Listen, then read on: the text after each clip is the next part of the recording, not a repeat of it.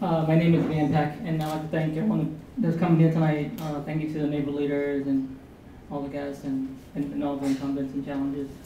Uh, neighborhood neighborhood um, violence it's, it's been an issue in Lowell for many years. That uh, it's improved vastly in the last even 10 years, just me growing up. And I think we need to build more relationships, partners, kind of keep people invested and, and let, it can't be all just, you know, the police officers and on the city council and, and local government. It has to, you know, come from everybody.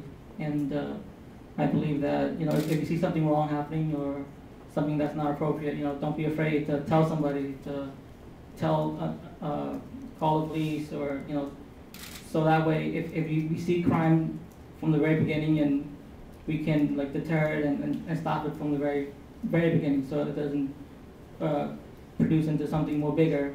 And uh, I think it starts with you know, the young people. You, you get young people involved with the whole like uh, process and teach them right from wrong that you know it'll grow and, and they'll grow and be you know productive citizens. And again, uh, my name is Van Pech, and thank you.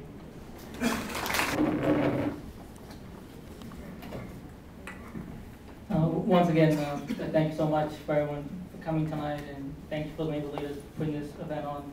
Uh, public safety and, and their issues is a big deal, and you know, if, if elected, I, I will address those issues and you know, be involved and, and get other people involved, and you know, be, be a voice, and uh, definitely be a resource, and you know, I want to address all the issues and point out all the problems. You know, like I want to look forward and and move things forward to, to help you know, Lowell on the right track.